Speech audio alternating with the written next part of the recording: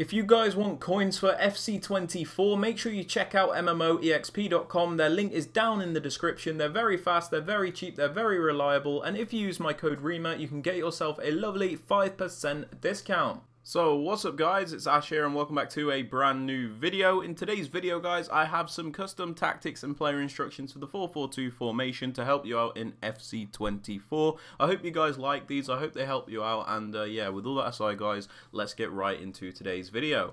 Alright then guys, then starting off with the tactics for the defensive style. As always guys, we have this on balanced as it does give you the best control when you are defending. When you want to press, you can. When you want to drop back, you can also do that. It does give you the best control in my opinion. For the defensive width guys, we have this on 44. It's not a specific number you need to use. I would suggest anywhere from 40 to 50 as it keeps your defense nice, narrow and compact, but not too narrow to the point where your opponent just has free reign to run down the wings all the time. So just pick a number which feels right for you. For the depth guys, you can pretty much use whatever you want. A lot of people like to use 71 depth, which is fine, where you get that automatic press, but I prefer something like 60 where I have a bit more control over when I press. Uh, it just feels like my defense can be a bit more responsive as a result and not out of my control but you can pick a number which you want. If you want to go lower, you can. For the build-up play, guys, we have this on balanced as it does give you the most controlled, varied way to build up. When you want to play slow, you can, and when you want to play a bit faster, you can. Uh, the other settings just don't seem to really work, I'll be honest with you. They don't seem to have much of a positive impact, so for whatever style you want to play, balanced is probably still the best bet.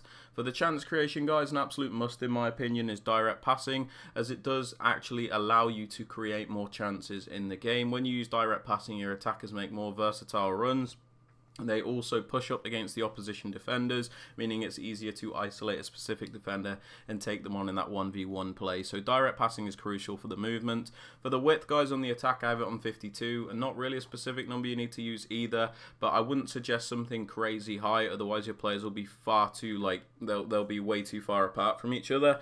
Uh, and on the flip side, you don't want it to be too narrow either, otherwise there's just no space to move.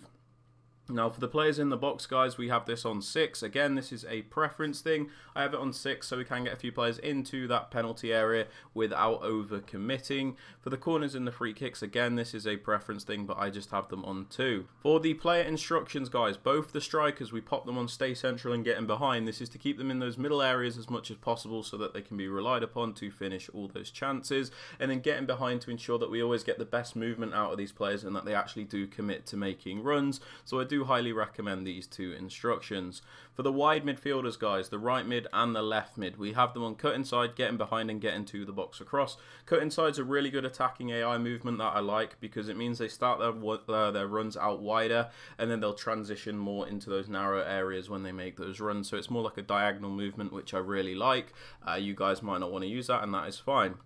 We also have them on getting behind, which is very important on these midfielders because they are like right mids and left mids. If you have them on like balanced support, sometimes they won't commit to running down the line or giving you support on the wings and everything just feels a bit static. So getting behind is important. We also have them on getting to the box across because they are on that cut inside instruction. So when they do cut inside near the penalty area, we want them to commit into the penalty area to help us out. Basic defensive support is also used because they do enough anyway on this instruction uh, and I have have pretty defensively capable players like Rolfo that will just defend automatically. So you can pop them on comeback on defense if you like, but it's not necessary. For the left centre mid guys, the more defensive minded player, we have them on stay back while attacking and cover centre. This is so that they won't go forward because they are defensive minded and then cover the middle area because we've got wingers to cover the wider areas.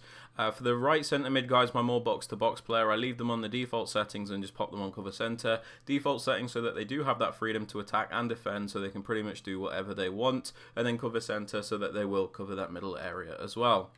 Now for the fullbacks guys on the more defensive one, stay back and overlap so we always have at least three defenders back at a time. And then on the more attacking minded fullback we have them on balanced overlap so we have that extra width, that wider option which is especially useful when this like right midfielder is cutting inside and leaving space for this player to overlap. So very useful instructions in my opinion. For the two centre backs I leave them alone and the goalkeeper I also leave them alone. But yeah guys they're my tactics and instructions for the 4-4-2. If you have enjoyed or found it useful please be sure to drop it a like, sub to the channel if you are new, and don't forget to turn on notifications. And with all that aside, guys, hope you have a great rest of your day, and I'll catch you all in the next video. Peace out, guys. Take care.